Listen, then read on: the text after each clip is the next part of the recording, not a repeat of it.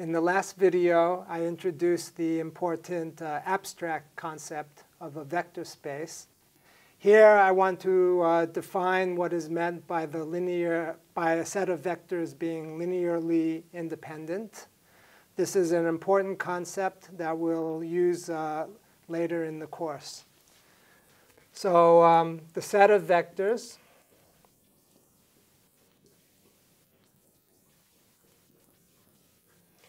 um, u1, u2 through un, so n vectors, are linearly independent.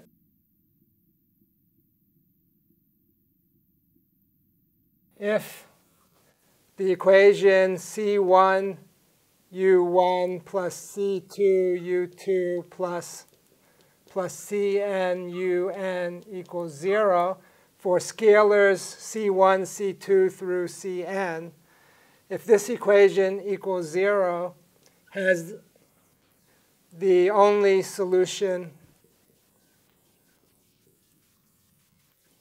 C1 equals C2 equals dot, dot, dot equals Cn equals 0. So the set of vectors u1, u2 through un are linearly independent if this equation here has as its only solution C1 through Cn equal to 0. What does that actually mean? Okay, so that's, uh, that's the formal definition of linear independence. The meaning is um, maybe easier to understand.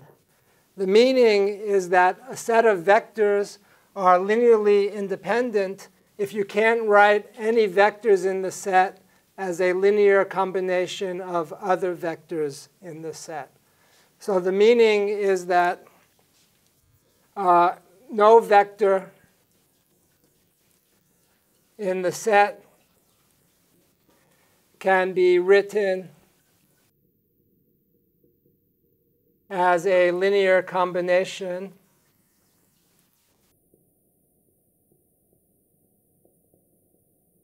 of other vectors.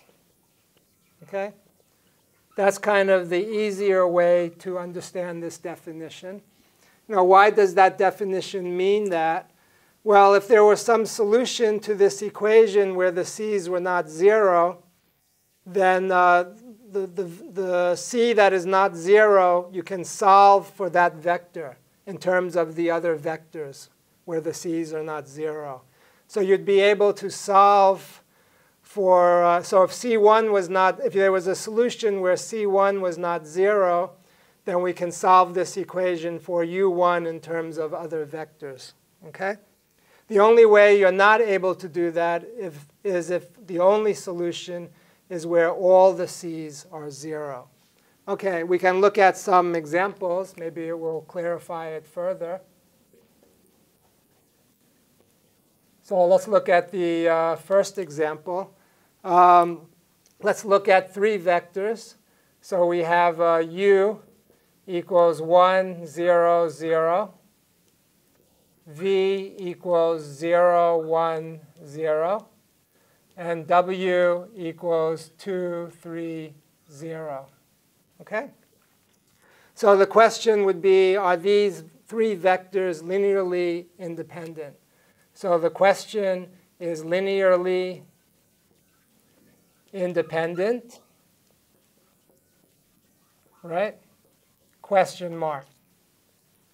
Um, the thing, the, the idea that you should ask yourself then is can you write one of these vectors as a linear combination of the other two vectors?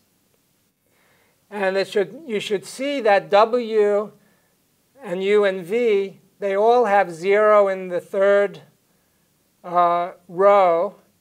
And W looks like it's 2 in the first row. U has 1 in the first row.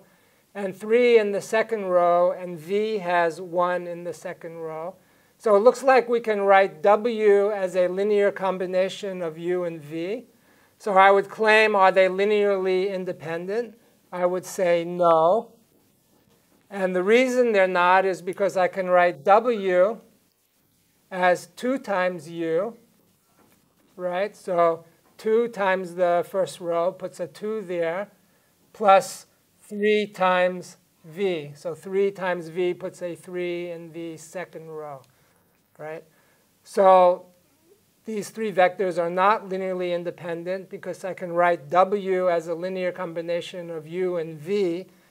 And if we go back to this equation, right, the definition of linear independence, we can go ahead and put u, v, and w on one side of the equation and then set it equal to 0. And we have coefficients that are non-zero that satisfy uh, this equation.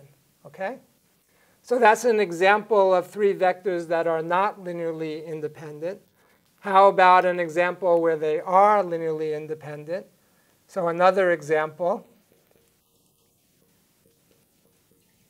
We can have u and v as the same vectors above, right? And now w we take as 0, 0, 1. Okay. So what we've done here now, we've put in W a non-zero third row. Is there any way you can get W from U and V? No, right? So these are linearly uh, independent. So yes, linearly independent.